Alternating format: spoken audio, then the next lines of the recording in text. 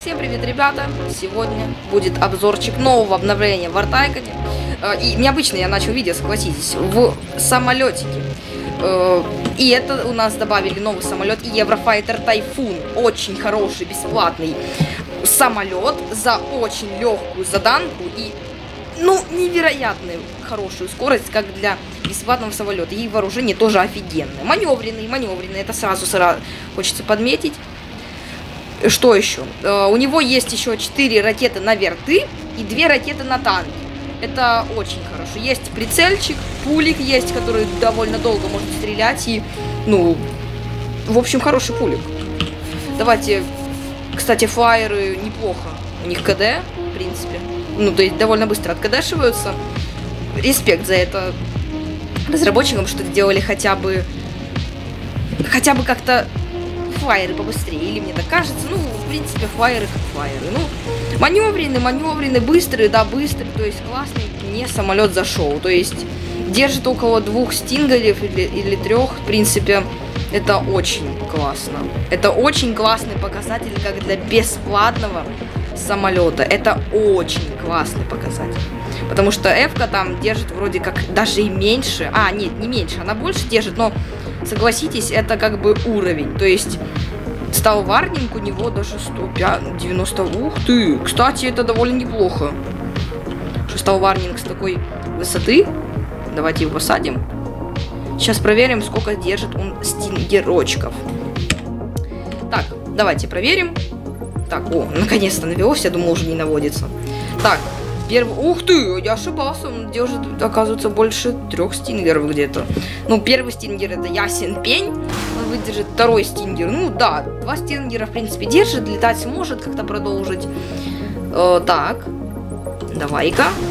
Ну, что я могу сказать? М -м, как бы, ну, не очень хороший результат, но будем помнить, что за такую заданку э, для бесплатного верта это изумительный показатель. То есть э, и вооружение, и все вместе взятое, это очень классно. Также у нас добавили скинчик новый. Э, у меня, к сожалению, его нету. Для, инфлюе... для инфлюенсеров у них вроде в 100 количестве, я не знаю. То есть инфлюенсеры, говорят, будут раздавать их на трейдинг-хабе. Как можно побыстрее пол- попробуй получить и заснять для вас кадры, моментики. Может, друзьям не дадут. И также и также все по поводу скина. Вы скажете, а где же наш В-22 спрей? Он же тут должен спавниться, это же вертолет. Ребяточки, а, Кизмоток решил так. А зачем вертолеты его делать? Потому что, ну, как бы, ну, идите, короче, отсюда. Что мы можем сказать? У него хпшек очень много. Очень много хпшек. Может с собой нести 4 аммо крейта, Ой, ну то есть, ну, детали, 4 ящика с деталями и 4 бочки. Для такого верта с такими хпшками это нереально. И то, что он без задания, это просто, ну, изумительное обновление. То есть это мне обновление действительно искренне понравилось. Вооружение, все эти темы. И давайте, короче, вас с вами буду томить. Да, большой, э, размером как сталион. Но согласитесь, выглядит он намного привлекательнее, чем Сталин. Кстати, здесь залезать можно быстренько. Или тут. Ну, то есть, так скажем, прострельщики свои есть. Также тут дверка открывается, и вроде так с, той стороны тоже. По-разному, конечно, открывается. Только не знаю, почему тут так открывается. А с той стороны вот так вот захлопывается. Ну, в принципе, тоже хотя бы какое-то разно- разнообразие есть. У нас есть вот 4 пассажира. Один вроде, да, один пулеметчик, копилот и пилот, собственно. Вот так вот у нас закрывается задний хач, так скажем, хэч, хач, хач, хач, хач, хач. Э, у него два винта, это его, так скажем, самая главная особенность. И любители втола бесплатного, ну, вертикального взлета, все для вас придумали. Вертикальный взлет, он работает как самолет, и он в вертикальном взлете летает как... Извините за меня за выражение, как дурной. Реально, очень быстро летает.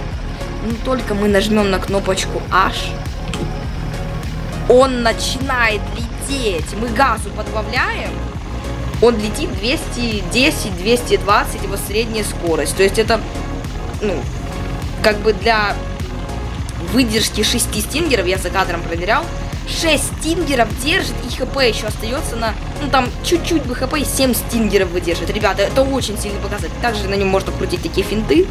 Это тоже немножко как-то странно для такого типа вертолета. В принципе, сойдет как-то для РП ситуаций. Ну, мне очень даже он понравился. То есть, классно. Респект ставлю за такой классный вертик. Ну, будем называть его вертиком, хотя это есть вертик, но у нас расположенных в самолетах.